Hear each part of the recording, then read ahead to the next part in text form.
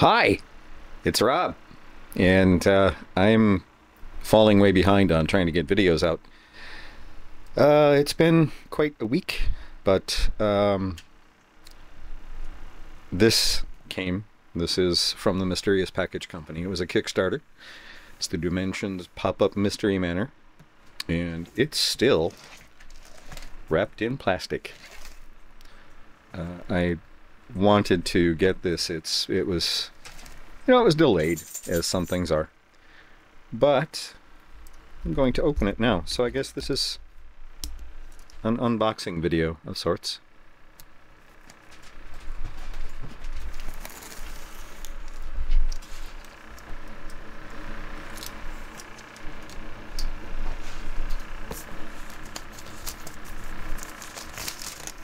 No assembly required.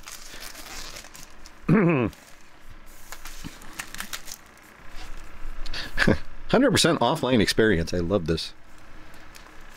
Um, I've wanted this ever since I saw it on the Kickstarter. It's a. Uh, I'm a fan of the Mysterious Package Company.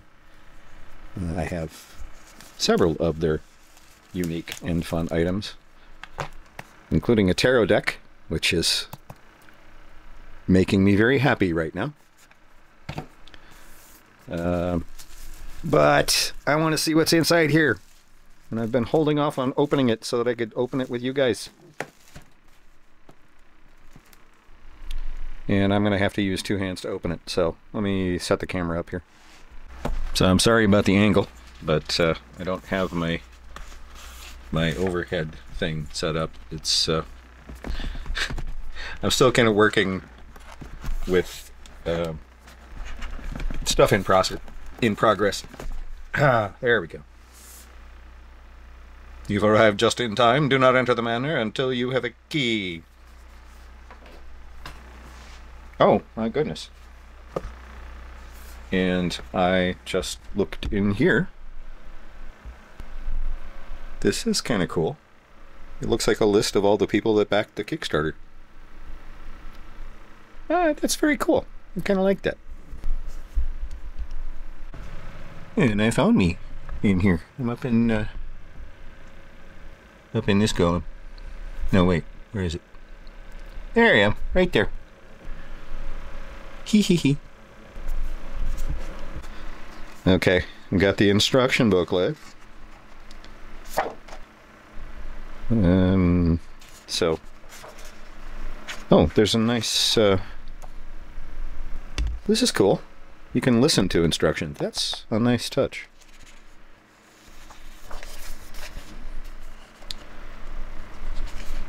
Do not explore the puppet manor or the contents of the dossier until you see the following symbol or are ready to begin your investigation. Ah. Alright, well I'm not going to spend a lot of time. You can't unsee a solution to a puzzle.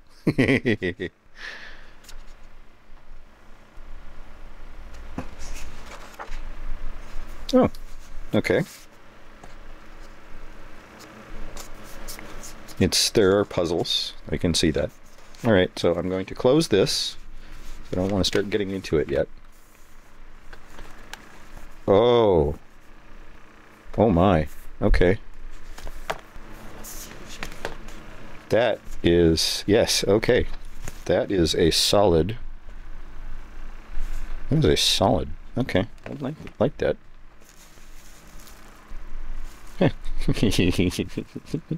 Should use that to be able to read the uh, names in the in the cover. Uh, the bag of many tricks. I'm not sure what's in there yet. And here we have the whole the whole piece that pops up. Okay. I am not going to open this now. This is actually being saved for a special occasion. Oh, this is cool. A regifting kit. It's like once you've once you've played it, you can give it to someone else, and uh, they can play it and they can enjoy it. That's kind of cool. I like that. Oh, that's track to the bottom. Do not open yet. I left you the manor. Best not to try and open until you know the combination. Alright, that's cool. So the contents of the uh, little black bag. There's a notebook in here for you to take notes. There's the hint book, which of course I'm not going to open. A pencil from Thornhill University. Nice. And a little uh, trinkety LED flashlight. It's kind of cool. Okay, I am not going to look in the dossier. I don't want to spoil this. I am looking forward to this as a very special time. Um, keeping it. So, um, again, here is the QR code in case you do want to check this out. Um, I will say that the Mysterious Package Company has been pretty cool at uh, creating puzzles and um, things with artifacts that are really pretty stellar. I've been quite happy with the quality of what's been coming out. Uh, one of the other things that I got is uh, this is a new one that they've done, uh, Escape from the Tinker's Trap. It's uh, it's like a board game escape room, which is unique and interesting. The puzzles in here are a lot harder than uh, I am used to, so they take some work. I mean, it. This is they suggest a 90 minute time for playing this. Uh, I think it took us 90 minutes to even approach solving the first puzzle. So you know, I we're not professionals at anything like this, but uh, I will say that this has been pretty fun so far. Another thing that I got, and this is not from the Mysterious Package Company, this is another Kickstarter, is The Stifling Dark. It is a, well, it's a board game. One versus many hidden movement horror board game with an innovative line of sight mechanic for two to five players. I have no idea what this is like yet. Uh, I haven't opened it. I'm... Eh, what the heck. Let's let's give it a shot. I also got some uh, additional things, and some card sleeves, and a little expansion that comes with it. Or, or at least what the Kickstarter that I ordered. But let's see what's in here. And this is tougher to do.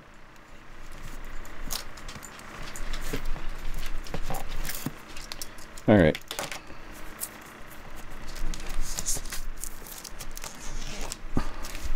Hang on. All right. Give this one a chance. okay. Core rules, adversary rules. Um, looks like the Game Master screen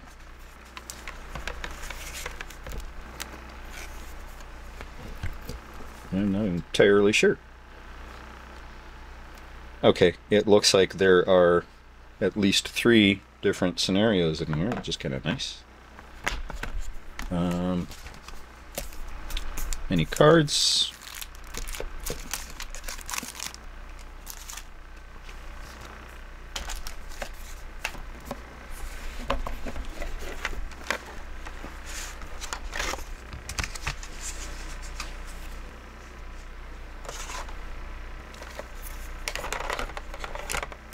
Spirit cards, generation cards, dice. Um, all those are bases for the. Uh, I'm sure that there's some user user cardboard cutouts in here. Oh, nice! They provide bags. That's nice. I like that. And we've got all sorts of tokens in here, yes, which are already die cut, and I don't want to take them apart quite yet. But that is a very large, um, very large board game, a very large board. And I'm not entirely sure what this is. Looks interesting, but for right now, I'm not going to uh, dig into it because again, I want to save this for a time when I have the time to go into it with friends. And you probably know where that's going to be. Uh, if you follow me at all, yeah, you know. All right. Uh, I don't know if that's all going to go together. Let's try and put these in. Well, all right. Let's try and put it back together the way it was. Those are not going to fit unless I take them out. Uh, I like how these are labeled. You've got adversary cards here, event cards here, other cards here, wound.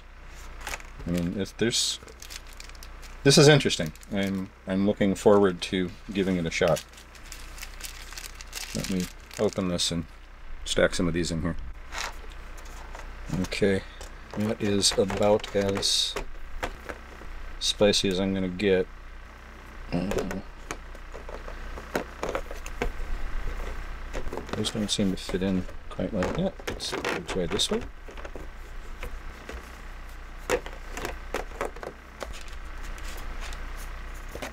Hmm. I don't know. I'm not entirely sure, but put it all away for now.